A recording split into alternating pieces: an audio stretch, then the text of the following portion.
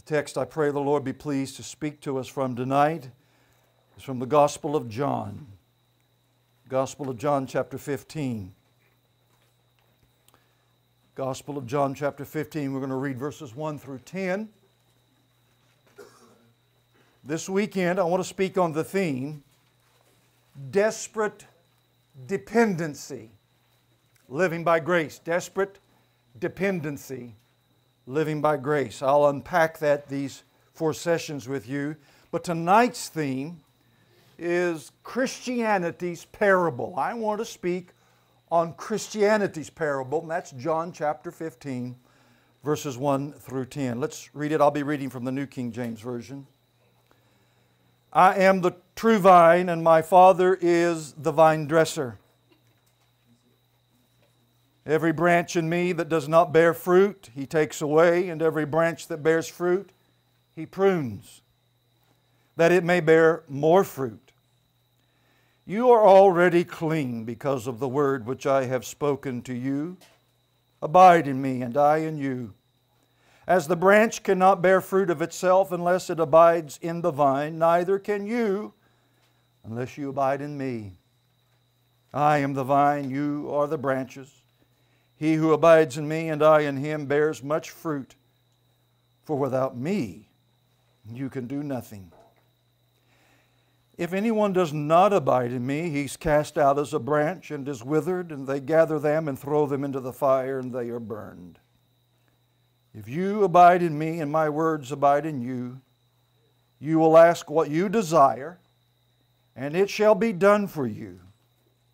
By this my Father's glorified, that you bear much fruit, so you will be my disciples. As the Father loved me, think of it, I also love you. Abide in my love. If you keep my commandments, you will abide in my love, just as I have kept my Father's commandments and abide in his love. No doubt every true Christian here feels that we have room to grow. Every one of us that truly knows Jesus Christ, we would say with one voice, one accord, I have not just not arrived, I'm far from arriving yet. There's much more improvement as a follower of Christ. We all know that we're not like Jesus in every respect, and if the truth be told, we're very little like Him. Yet, in one way, I want to suggest to you that that's very healthy. That's a very healthy attitude. Healthy because it promotes an absolute awareness of our need for the Spirit's help. It's the motivation for what I call desperate dependency. And basically, desperate dependency is this principle you find from Genesis to Revelation. You will never depend upon God until you are first desperate. This is the way the human heart works. You'll never work around it. And it's the way God works with us. He brings us consistently to a place where human resources are insufficient. Education, learning, all the knowledge of theology and scholarship are insufficient. They are not all that's required. Certainly, we're not against theology or knowledge or scholarship. We are to study to show ourselves approved, but these things alone are inadequate. They are flesh and they are corruptible apart from the power of God. Listen, Christianity always has been and always will be a supernatural relationship. Supernatural.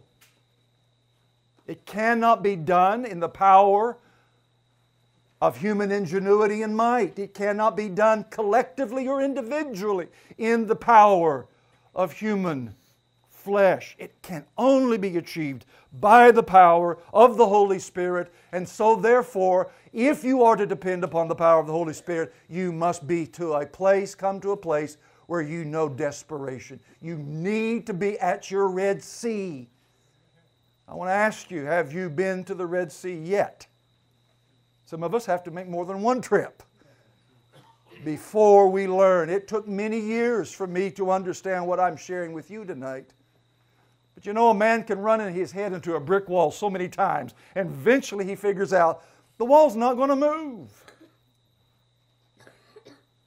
And that's what desperate dependency is. You never will depend upon God until you get desperate. Our problem is we're not desperate, and therefore we truly do not depend like we think we do.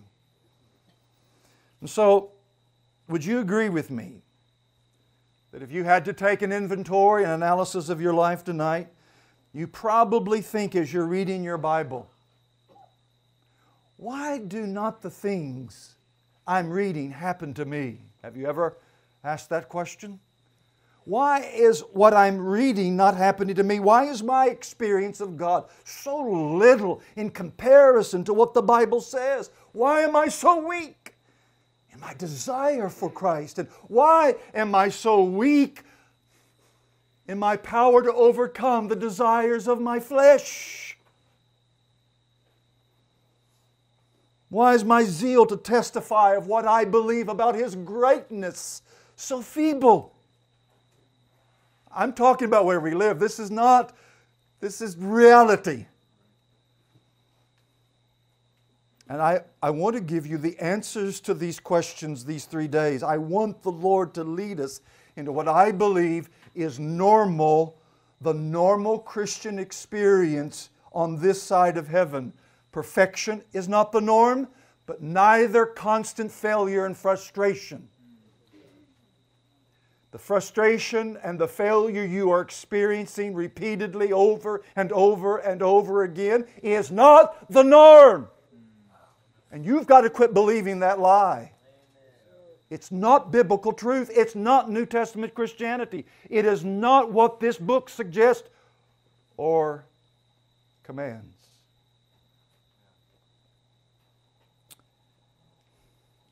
And so, a lot of what I'm going to say this week comes out of my own life, based upon the text, of course. It's really a living testimony of trying to do God's will in the power and strength of Michael, only to fail and fail and fail and fail again and again until God waiting for me to get desperate so that I could depend upon Him. And I can't tell you what this passage means to me because it was so instrumental in helping me to see, now that I had been a Christian for even years, now pastoring, this time legitimately, now as a true believer with the Spirit of God within me.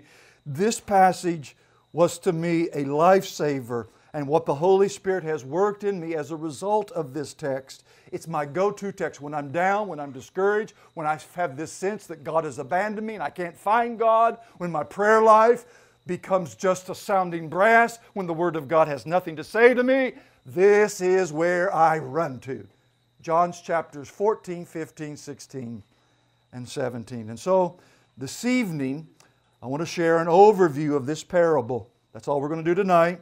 I want to highlight its major points, its overall theme. And so that in the following hours of this retreat, we're going to go in depth into its bountiful branches. We're going to feed from its fruit, I pray. And we will also go to other parts of Scripture that are in depth commentaries on our Lord's teaching here in this 15th chapter of John in his most prized parable.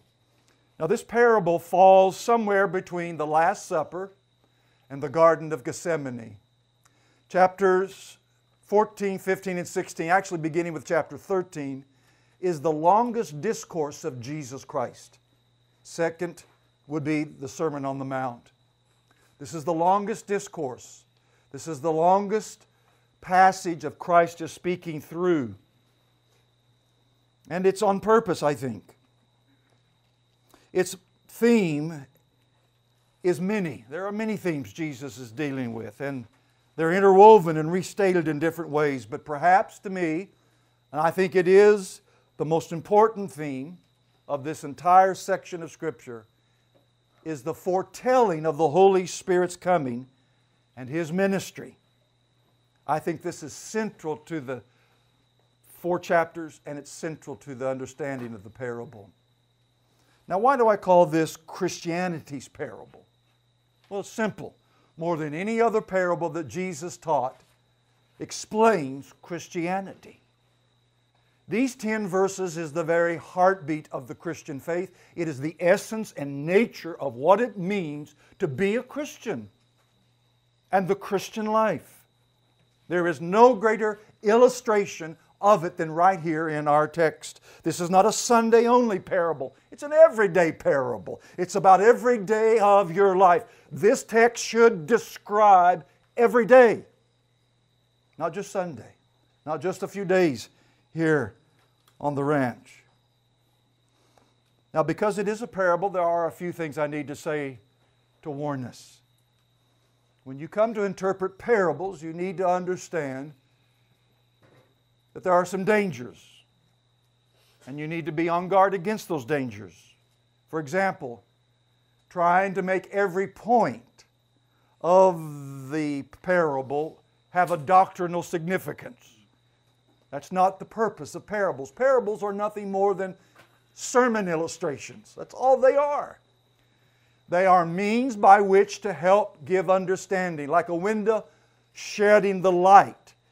Illustrations are to be windows of the, for the understanding to grasp the doctrinal truth or theme that the speaker is giving. And they generally have one major theme. Some have a secondary, but there are few.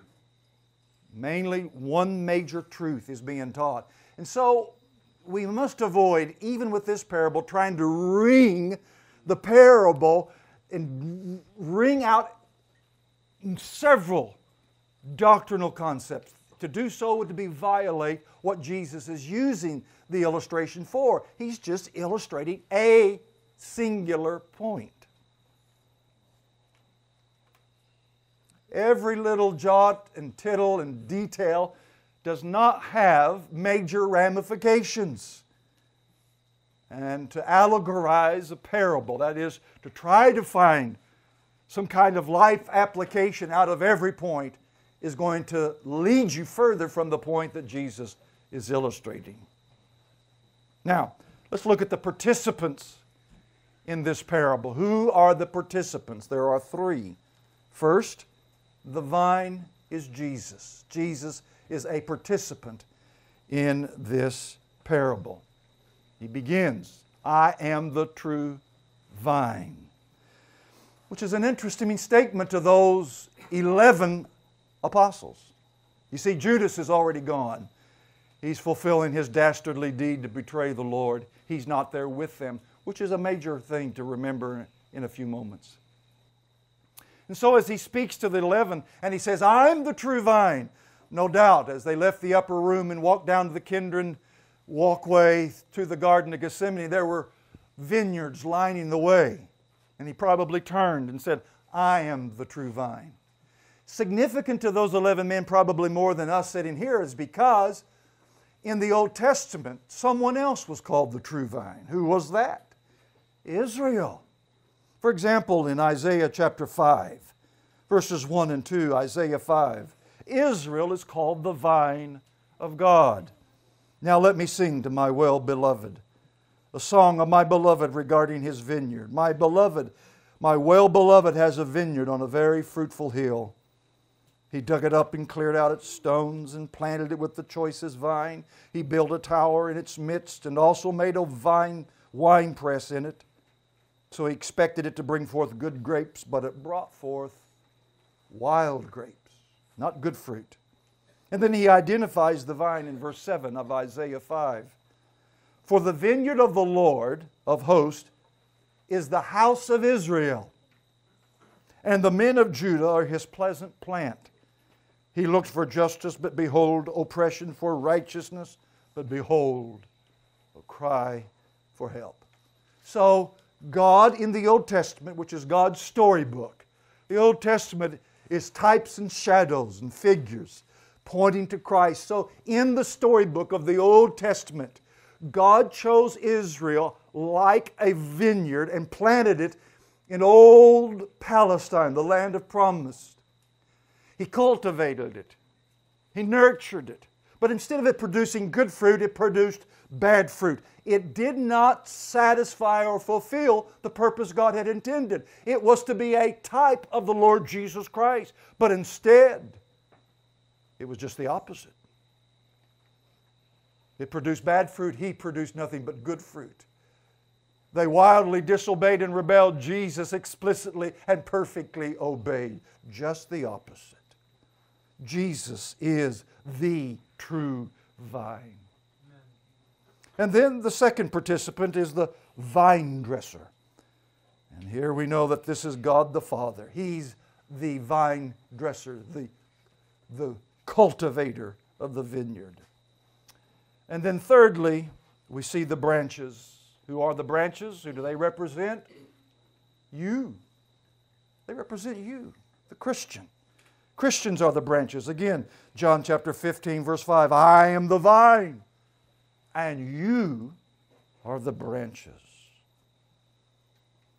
Now, what is the function of each one of these participants? Let's look and see what the parable says. Each participant, what his role and function is. Let's look at the function of the vine dresser in verses 1 through 3. First of all, he is to attend to the vine. He's to attend to the vine. Think about what I'm saying. I am the true vine, and my Father is the vine dresser. The word vine dresser simply means one who cultivates the vine. He nurtures and supports the vine so that it can produce fruit to its maximum.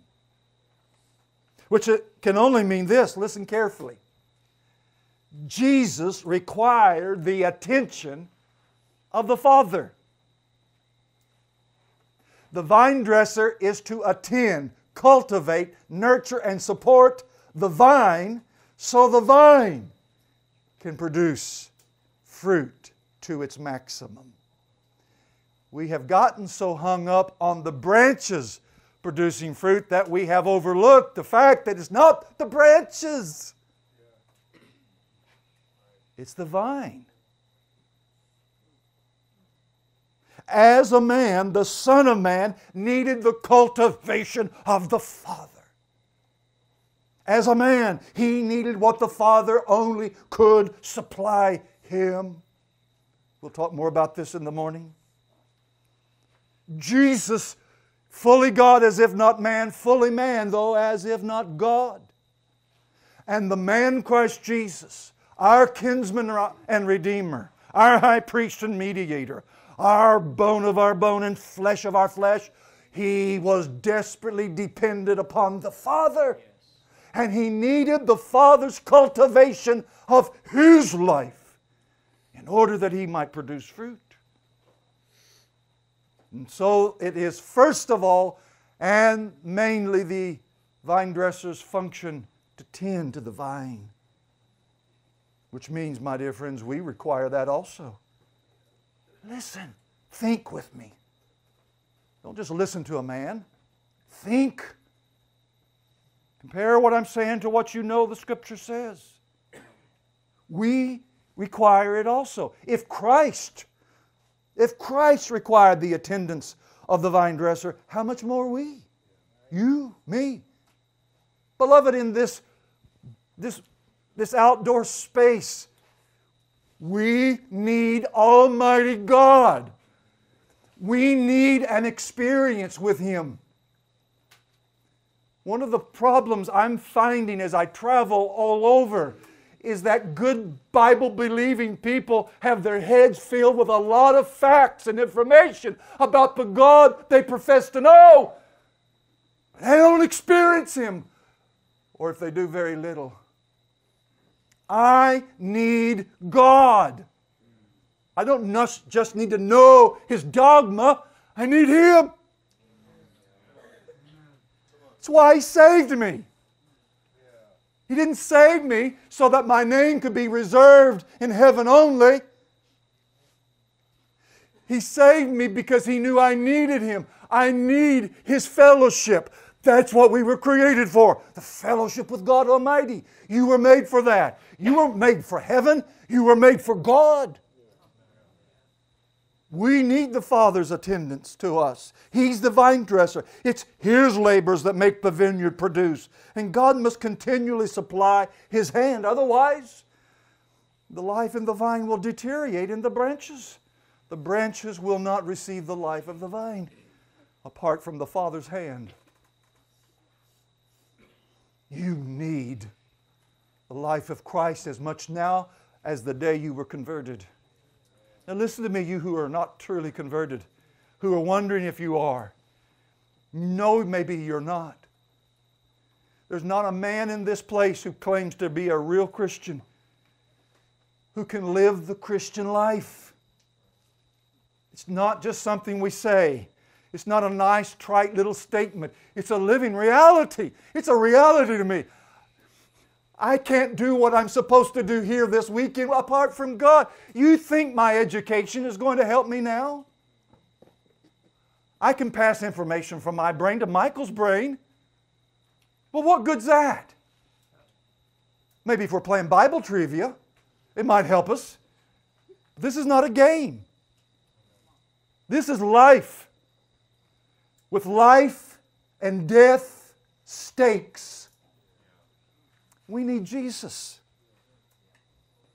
The second function of the Father, the vine dresser, is to restore unfruitful branches. Look at verse 2. This is going to blow some of you away. Some of you may not agree with me. You're, you're entitled to be wrong. I won't blame that, hold that against you. I'll still love you. This is not an essential point of doctrine. Look at verse 2. Every branch in me that does not bear fruit, he takes away. Normally, this is interpreted by most to mean that if a branch in Jesus doesn't bear any fruit, there's no fruit, he cuts it off and discards it. But I don't think that's what it means. In fact, I'm sure that's not what it means. I think it's an unfortunate translation. Because the word takes away in our English Bibles is really one Greek word, airo. And it can be translated take away, or it can be translated lift up. Now, before coming down here this today, I went through every time that word is found in the New Testament. And half the time, it is referring to something being separated, taken away, separation. But the other half of the time, it means to lift up, to bear up, to support. So now we've got a Greek word that we don't know how to interpret or translate it because it can mean one of two things. So what do you do? Well, a good student now looks at context. But if you're like me, You've never tried to grow a vineyard. Right? How much of, quote, viticulture do you know? That's what it's called, viticulture. What do you know about it? All I know is plant a grapevine and hopefully in the fall you can eat some grapes. But there's a whole lot more to it than that. And so I studied and I read, I studied and I read and I studied, I researched, and I discovered something that the way we do vineyards today, and you can drive down some places and see a vineyard, and you'll notice that they're on a trellis system. The branches are wired, tied to a trellis system. That was an invention of the Roman Empire.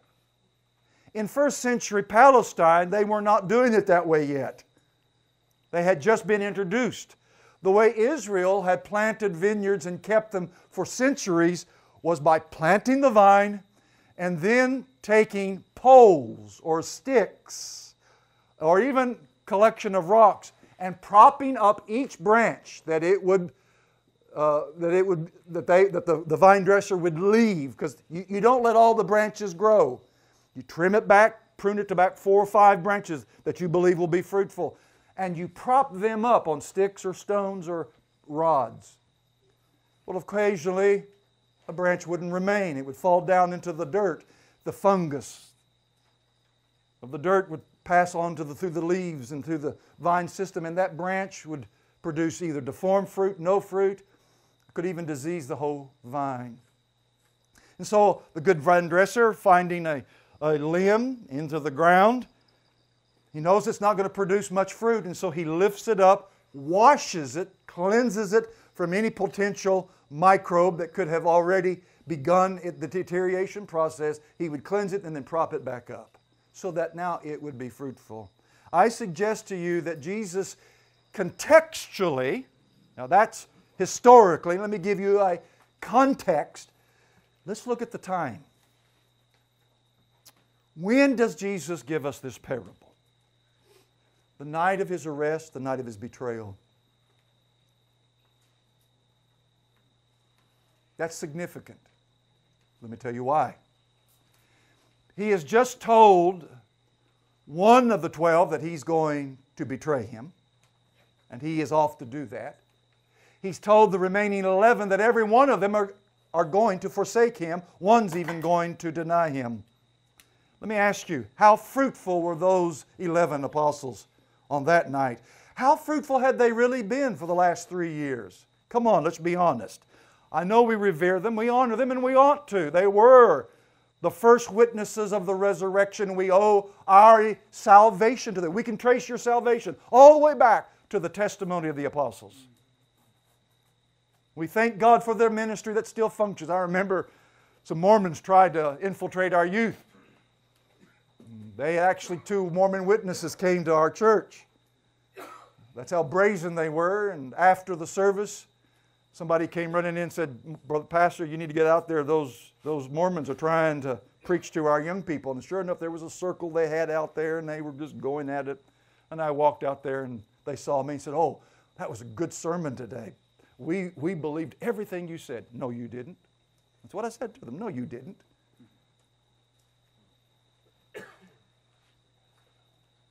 Well, well wait a minute we believe that the church is corrupt. Don't, do you believe that? I said, yes, I, I do. Christendom is very corrupt. Then they said, well, we believe in apostles. Do you believe in apostles? I said, I sure do. Really? You believe that the ministry of apostles is still functioning today? I said, I sure do. When my church has a problem, we go see what the Apostle Paul says in the book of Corinth, Corinthians, and he tells us what to do, and we obey because his ministry is still functioning. We thank God for these men. But let me ask you, how well did they do in the school of faith for three years? They flunked every test. They had to retake the test. The teacher was very patient and long suffering. He even tells them that very night that you really don't love me because if you loved me, you'd be happy when I tell you I'm going to the Father. There had been very little fruit produced in these men. I think that's what this is referring to.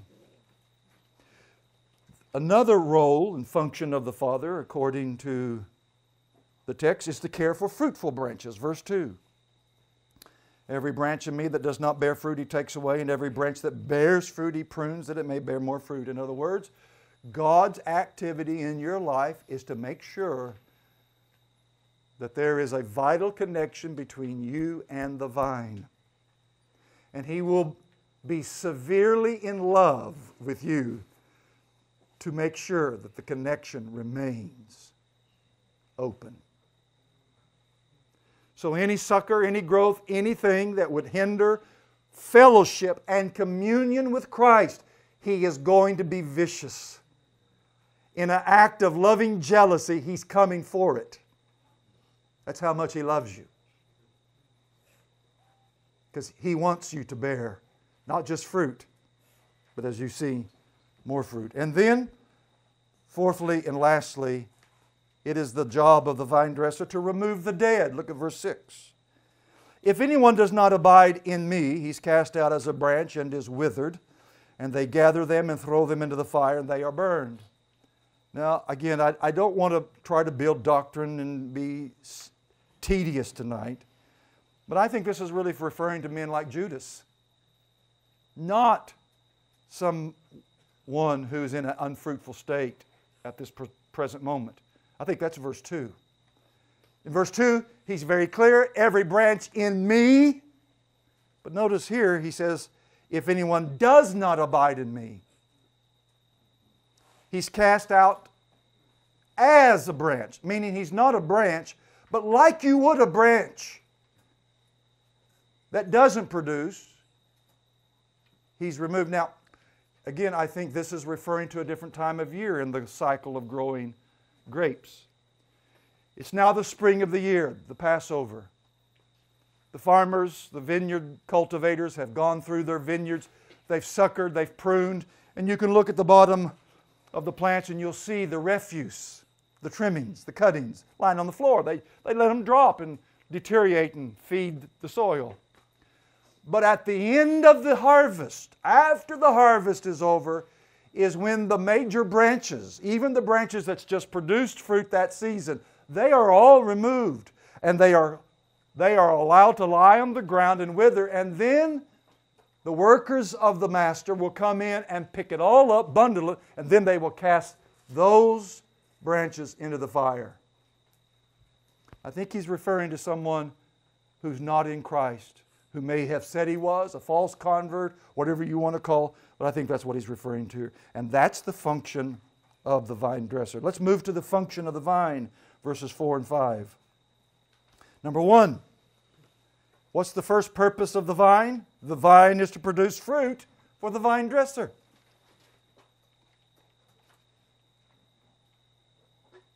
Jesus' function on this earth, and by the way, still is, is to produce fruit for the Father.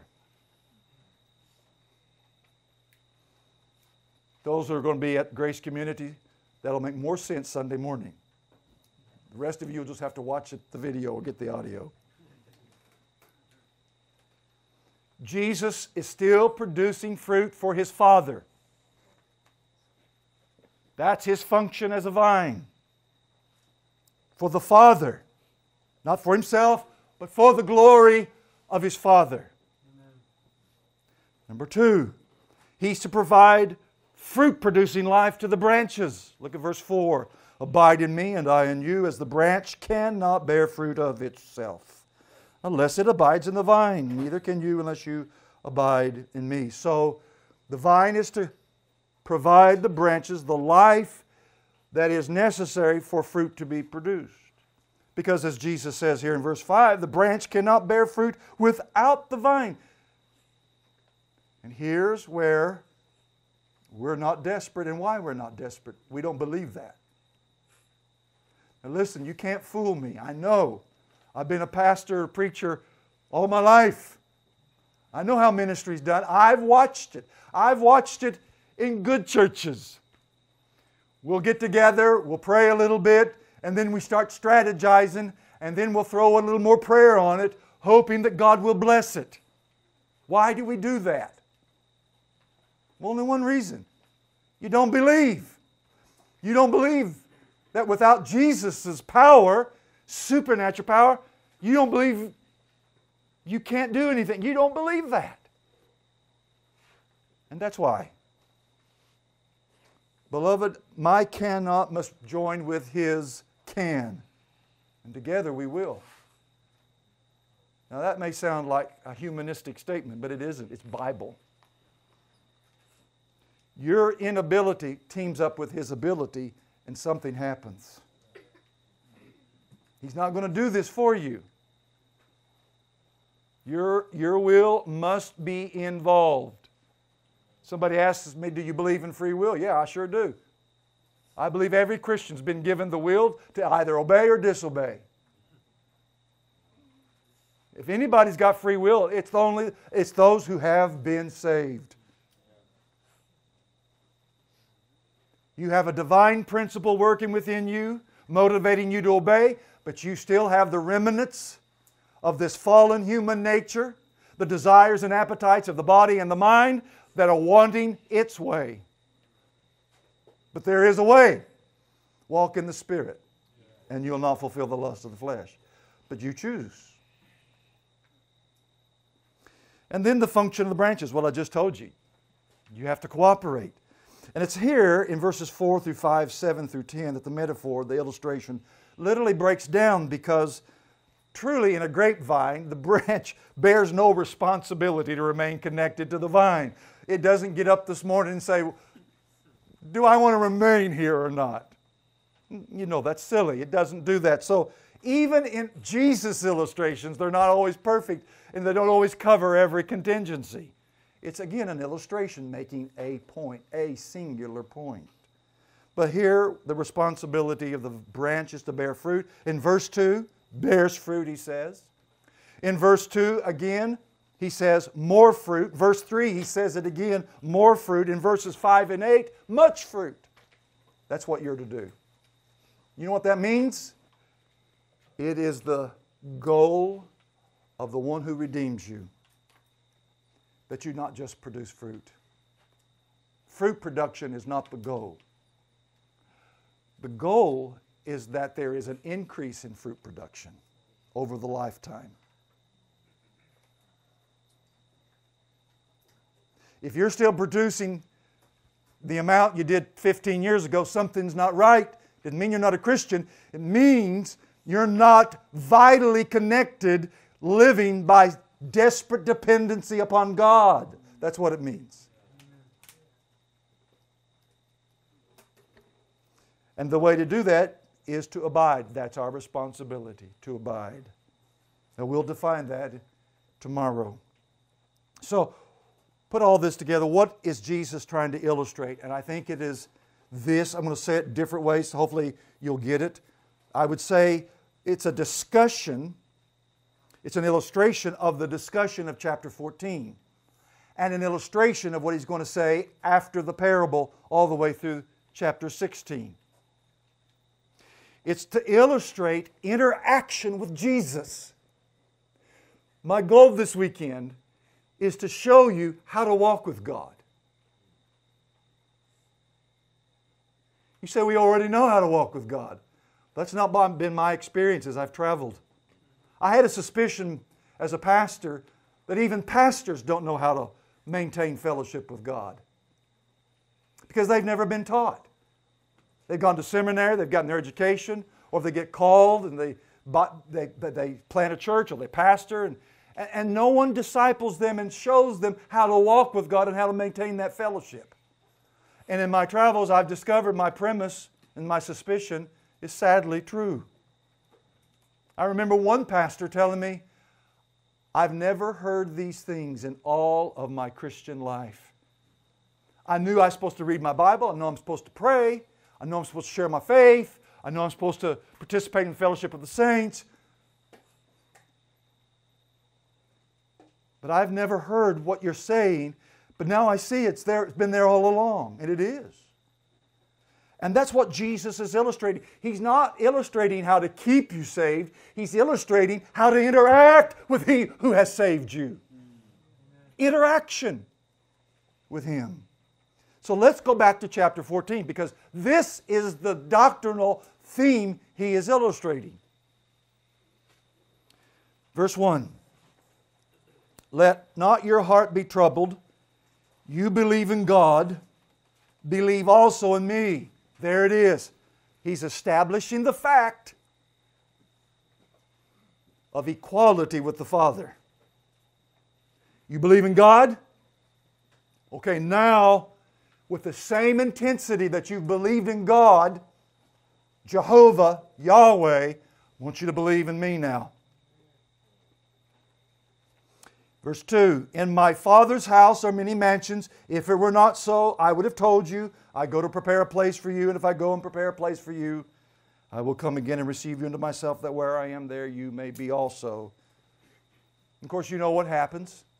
Philip asks the question about the Father show us the Father. Jesus, I can just hear him. I, I may miss this, but I can almost hear exasperation in his voice. How long? How long have I been with you? I said to you, if you've seen me, you've seen the Father. Verse 7 If you had known me, you would have known my Father. Do you hear that? You talk about fruitless or very little fruit. He's saying here, if you had known me. You really don't know me, guys. You've lived with me for three years. You've heard my teaching. You've seen my power, and yet you still don't know me. You still don't know.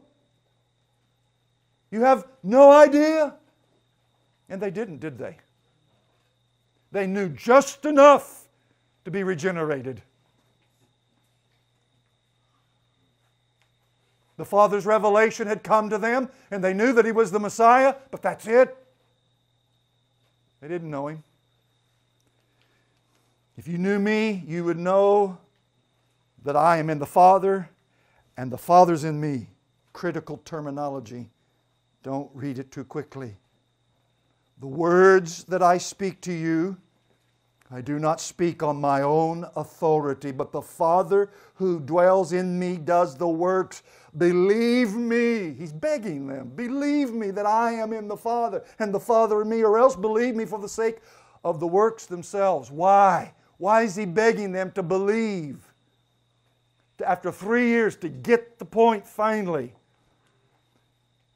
Because his relationship with the Father is exactly the relationship the apostles were going to have with Jesus once he returned to the Father. Jesus is saying, as I walk on this earth these three years, I can do nothing of myself. Exactly what he says about you, the branch. Listen to him in John chapter 5, verse 30. Listen, John chapter 5, verse 30. I can of myself do nothing. It's exactly what he said in John 15, 5. Apart from me, you can do nothing. No thing. Nothing means nothing. No thing. As I hear, I judge, and my judgment is righteous because I don't seek my own will, but the will of the Father who sent me. I am in I am in connection with the Father and I interact with Him and He with me so that I know what I am to do, His will, and He grants me the power to do that. I need the Father. There's the illustration. There's the example, not illustration, a better word would be example. There's our example. And once again, what Jesus is doing, He's pulling back the curtain and He's letting the apostles see how He functioned those years they walked with Him and how they are now going to function with Him. Let's go back to the text, John chapter 14, verse 12. John 14, verse 12. Most assuredly I say to you, he who believes in me. Now, who are you believing in? The Father of the Son? Yes. Somebody said, say yes. Which is it, the Father of the Son? The Son. I say to you, he who believes in me, the works that I do, he will do also. And greater works than these he will do because, why? I go to my Father. Now, they don't understand that, and you barely understand that. And whatever you ask in my name, that I will do. Who? Who's I? Jesus, not the Father, Christ.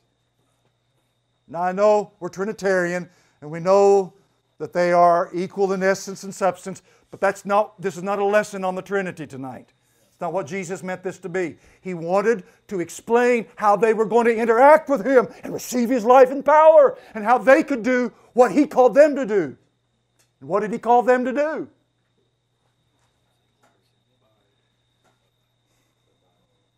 To be his branches so that he could produce fruit for the Father.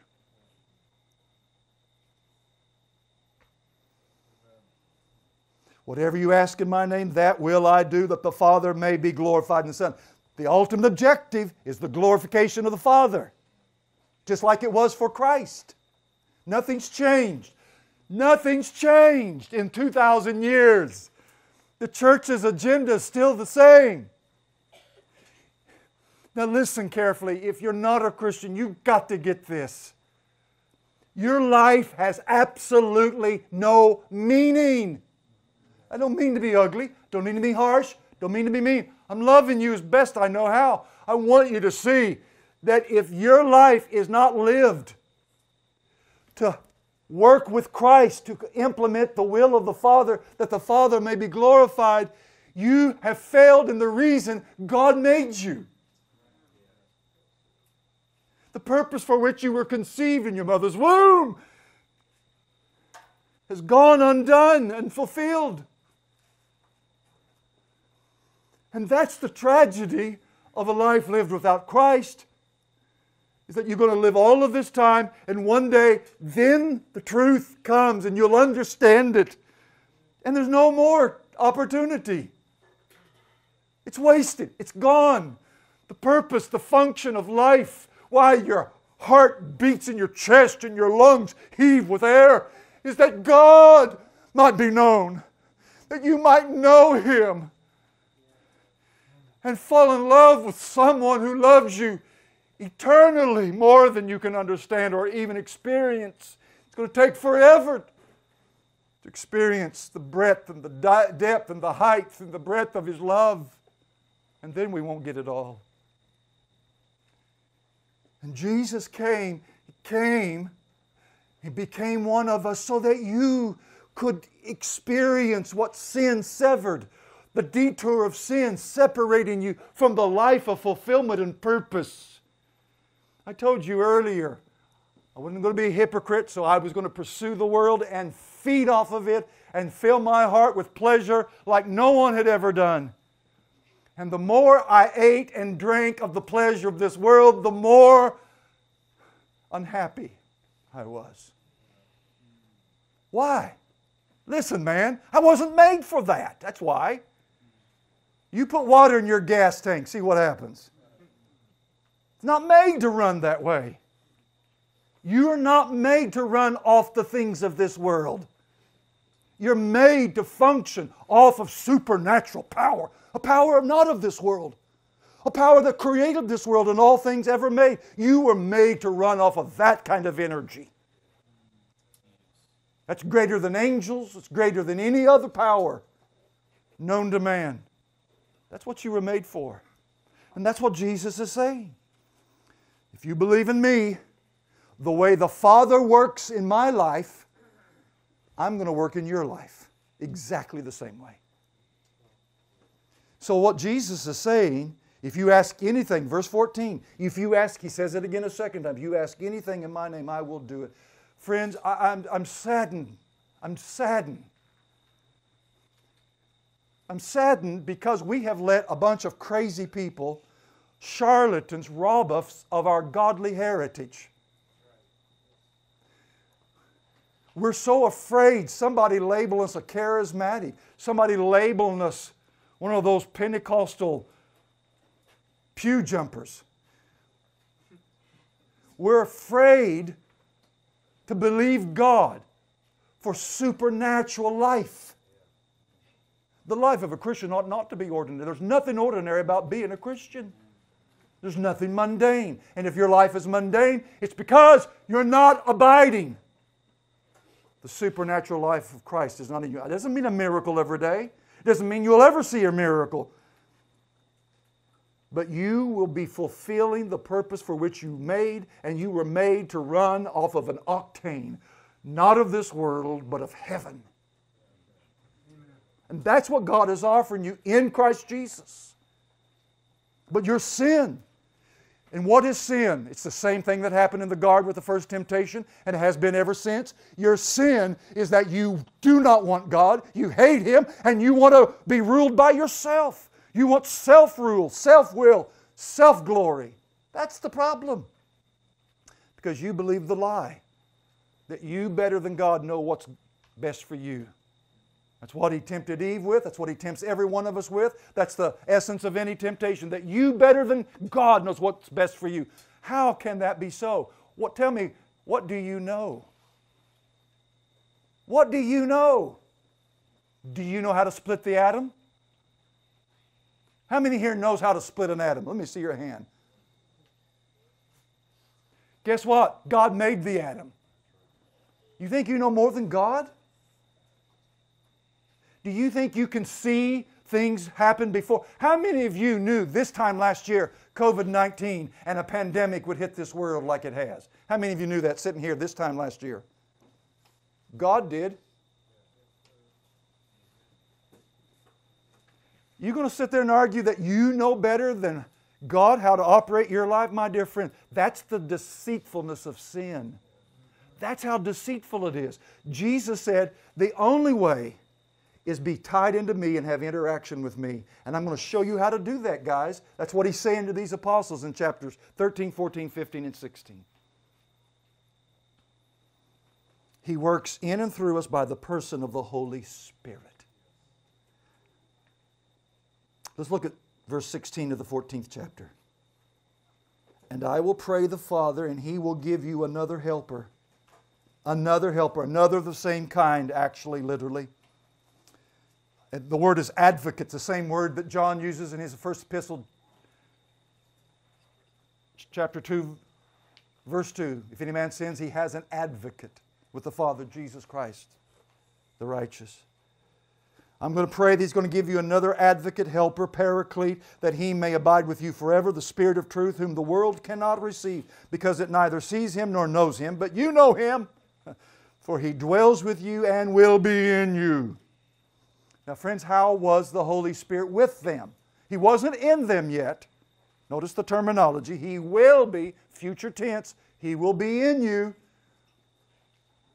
Not yet in them. How was He therefore with them? Simple.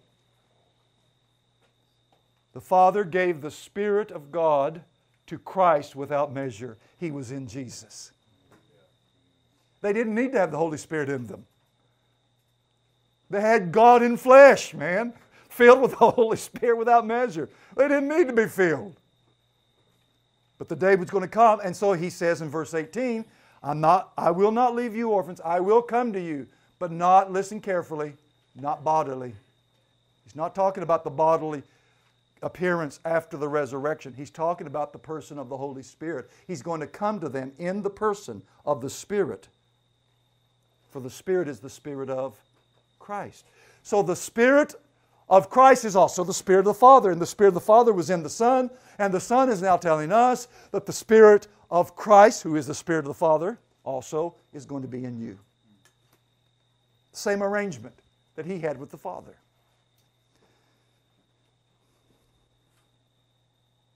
Look at chapter 16. He says it again, verse 5 and through 7. John 16, 5 through 7. But now I go away to him, the Father who sent me, and none of you ask me, Where are you going?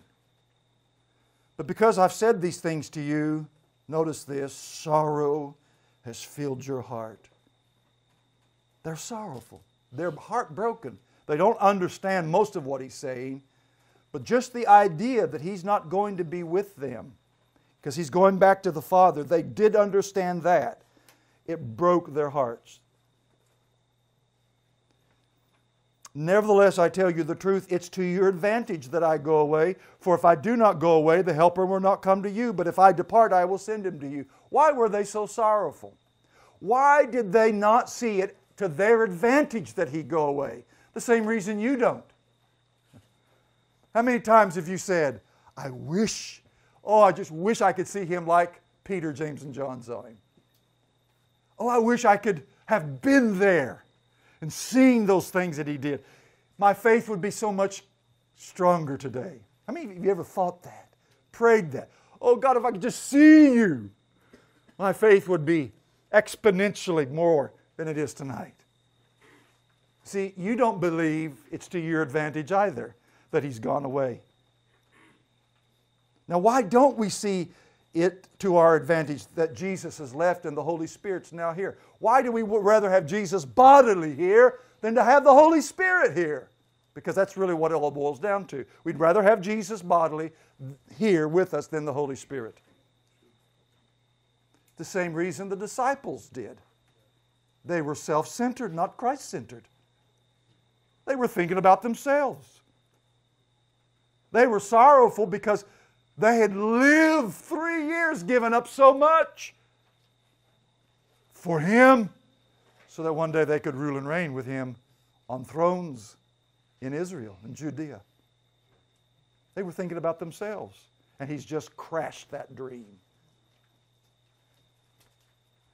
Now, I've got to explain some things that's a little on the metaphysical side. It's not mystical, it's biblical. But you need to listen carefully. I know it's late. I'm feeling pretty good right now. I'm awake. I don't know if you could tell. Okay? I'll do my best to keep you awake. But do you know that there's two components to reality? Two, only two. There is the spiritual and there is the material. There's the physical and the material and the immaterial. Two components. The spiritual realm is invisible. The writer to the Hebrews says, Everything made that is seen was made by those things which are not seen. The visible came out of the spiritual. In other words, the physical matter of this world and, it's, and this galaxy and the universe is supported by the spiritual. And by the way, God is spirit. And it takes those two components for you to really understand reality. If you're viewing things from simply the physical, the material realm, you only have half the picture. And physical senses do us very little good in the spiritual realm. That's why Paul says we walk by faith and not by sight. sight. Faith is the eyes of the Spirit. Faith is the spiritual organ by which we see and hear spiritual reality. Now, why is this such a big deal? It's because we are addicted to the material. The apostles were addicted to the material realm. You see, all of our relationships in life are based upon the physical senses. I love when Sunday evening, when my wife picks me up from the airport, I know what's going to happen. She pulls up and she's going to get out of the car with that big smile and she's going to run up to me and she's going to put her arms around me. I like that. I'm looking forward to that. One of the, and it's not a complaint, I'm not complaining, but one of the challenges for me, because I'm so close to my wife, she's my soul's twin, that's what I call her, is that I have to be away from her so much. Thank God for FaceTime. Although I've already checked, it doesn't look like there's much signal around here.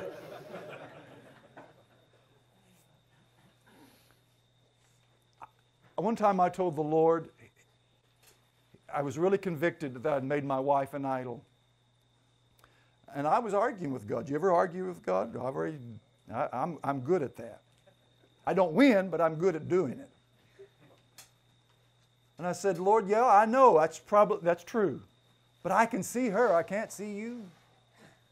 That was my argument. I can hear her tell me I love you. I can feel her arms. I don't feel your arms. I can look in her eyes and see the gleam in her eyes. I can't look into your eyes and see the gleam that you have for me.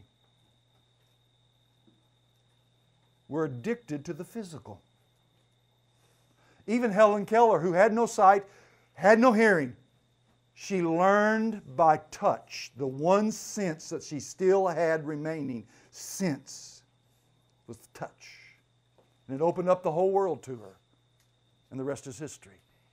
That's how we operate because we're physical beings. We are material beings. But there's another problem these guys had. Not only were they addicted to the physical, they were lazy. Now, again, I know I'll have to face them one day, and they may remind me of this accusation, but I think they would agree. They were simply lazy. What did these guys really have to do for three years? Jesus provided, supported, protected, and fed them. Think about it. No wonder their prayer lives stunk. They had God in the flesh. If they ever had a problem, they run to Jesus. And He solved it. How do you think they could drop the nets, leave their business? Do you think they let their wives and children starve to death? No. Jesus through his ministry and the gifts and alms that were given to him, he dispersed to them and they could provide for their family. He took care of them. That's the way they made disciples anyway back then. The Jewish rabbi took in the disciple into his own home, clothed him, fed him, took care of him medically, everything he needed in order to teach him. That's what Jesus, he was just simply practicing the same form of discipleship. For three years, all they had to do is follow and listen and watch. And they had become so dependent upon the physical man, Christ Jesus. And like them, we depend on ourselves. And that's our, that's our default. That's, that's the go position. That's, that's just naturally what we are. But listen, even when you trust in you, you're still exercising faith. It's faith in you.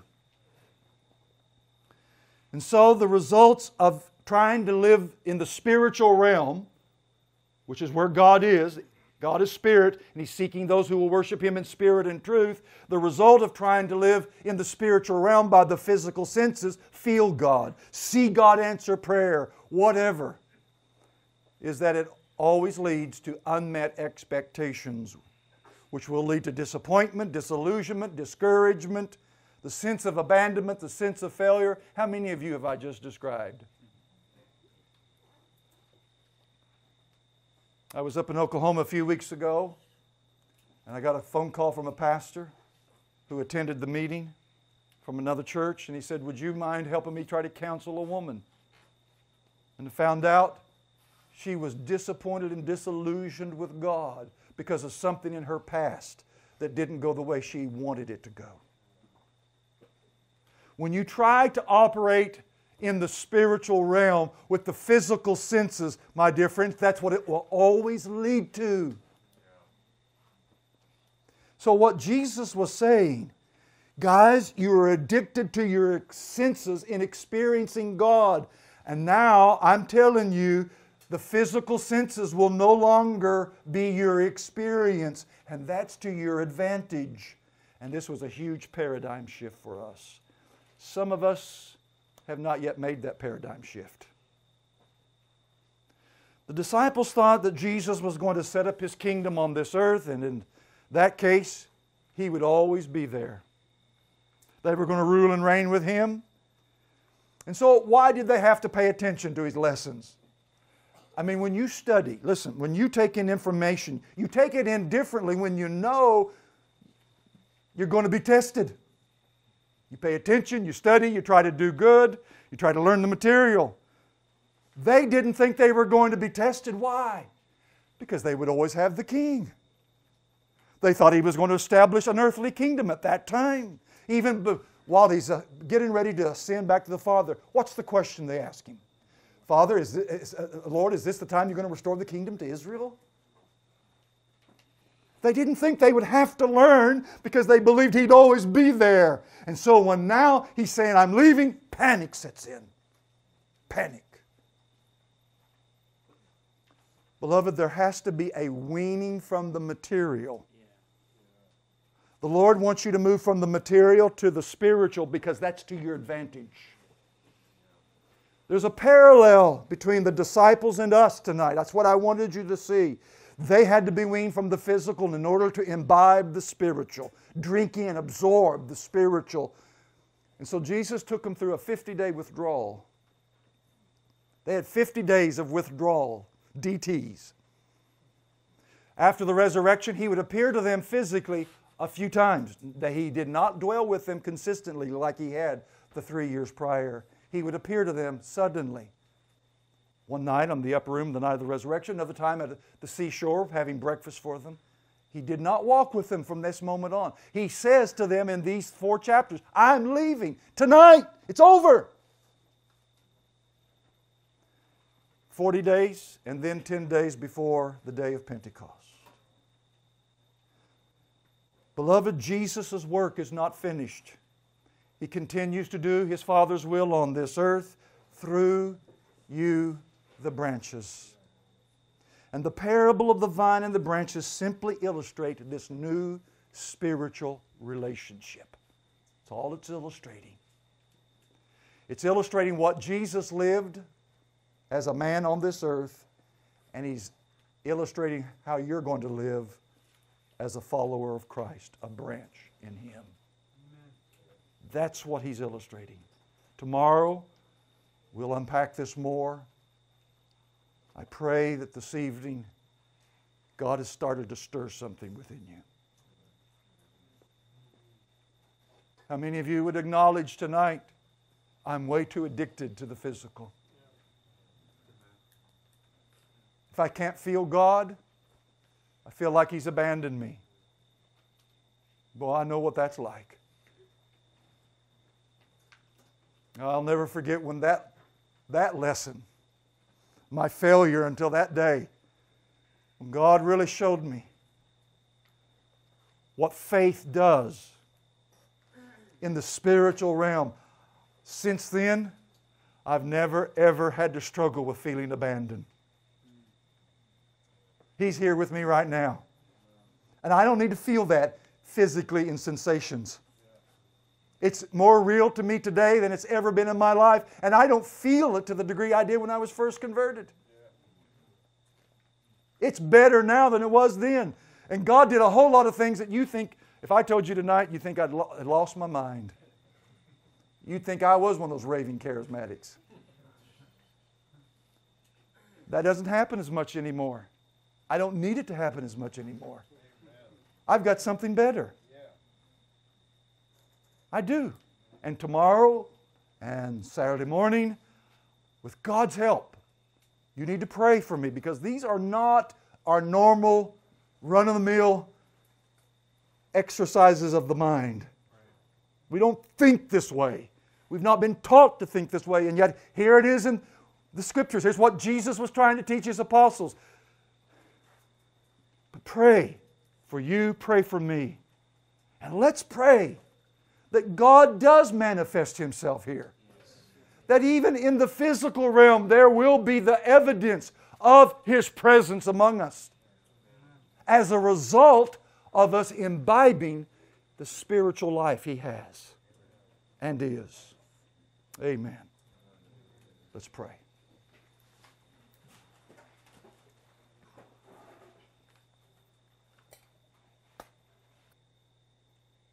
Father, thank you for helping tonight. You kept your promise to me tonight. You told me in your word, Isaiah 41, You are my servant, I have called you, I have not cast you off. Fear not, for I will be with you. Be not dismayed, for I am your God. I will strengthen you. Yea, I will help you. I will uphold you with my righteous right hand.